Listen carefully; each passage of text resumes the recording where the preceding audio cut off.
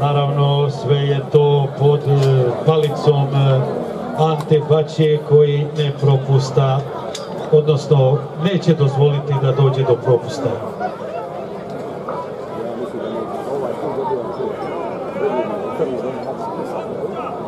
A pri pomenu Mika Brizana pomenut ćemo i njegovog trenera doktora Matu Ralicu koji je dao sve od sebe da Brizan bude upravo ovakav kakav jeste.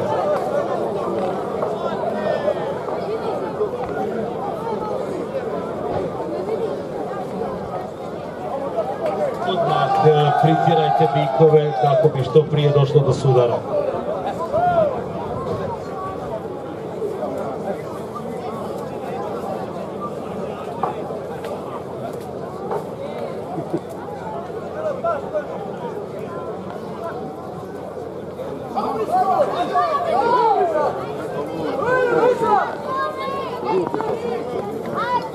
Nismo puno čekali, odmah je došlo do borbe.